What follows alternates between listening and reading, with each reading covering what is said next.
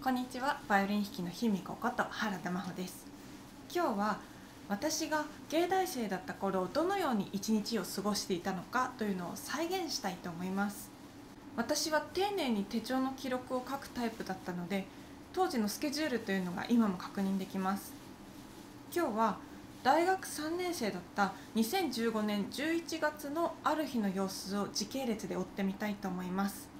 でも私はもう芸大生ではないので今日はイラストを交えてご紹介していきたいと思います。7時50分頃自宅を出発します。最寄り駅までは車で10分弱。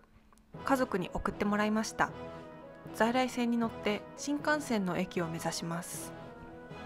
乗り換えの駅で昼食を調達してから8時20分頃新幹線に乗車します。車内ではスケジュールを確認したりメールの返信をしたりあるいは睡眠をとったりします。9時頃上野駅で下車。その後上野公園を横切って芸大に向かいます。上野公園の道のりは約10分。美しい公園を見ながら動物園を横目に歩いていきます。9時半から室内楽のリハーサルです。この日は先輩たちと組んでいたピアノ四重奏の練習。私はビオラで参加しています。同じメンバーで11時からは室内楽のレッスンを受けます。翌月には室内楽試験を控えていたので曲も仕上げの時期です。レッスンを終えて朝買ったサンドイッチをサクッとつまみます。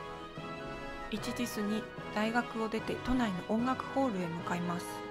やはり翌月に毎年恒例同じ先生に習う門下生でのクリスマスコンサートの予定があったのでこの日は打ち合わせに向かいました。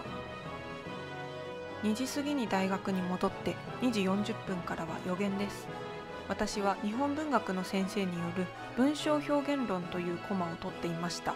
でもこの年は受講ではなく聴講をしていてなぜかといえば授業を少し早く抜けて3時40分から副科ピアノのレッスンを受けていました。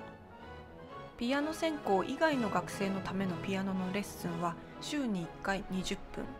私は4年間履修していました。4時20分からは語源です。教職の科目を取っていました。5時50分に語源を終えたらすぐにホールに向かいます。6時半からの学生オーケストラのリハーサルに備えるためです。この週の週末には年に2度の定期演奏会を控えていてチャイコフスキーの幻想序曲「ロミオとジュリエット」そして交響曲第5番に取り組んでいました。なお午前中と変わって私はバイオリンでの参加です。9時にリハーサルを終えたらホールを片付けてから駅に向かいます。このように帰宅が遅くなるとき私は駅中でお弁当を買って新幹線の中で夕ご飯にしていました。10時過ぎの新幹線に乗って帰路に着きます。オーケストラや室内楽の本番が近い時10時台の新幹線に乗ることは決して珍しいことではありませんでした。帰宅はだいたい11時過ぎだったと記憶しています。その後業務連絡や事務作業を少し整理して翌日の学科の準備をして就寝はだいたい午前2時でした。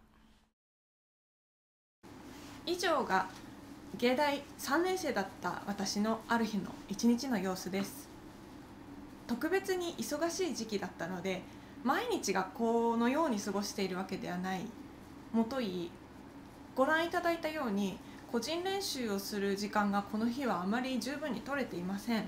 ですから今日ご紹介した日とは反対に全く予定を入れないで一日楽器の練習をしているそんな日を取ったりしてバランスをとっていました。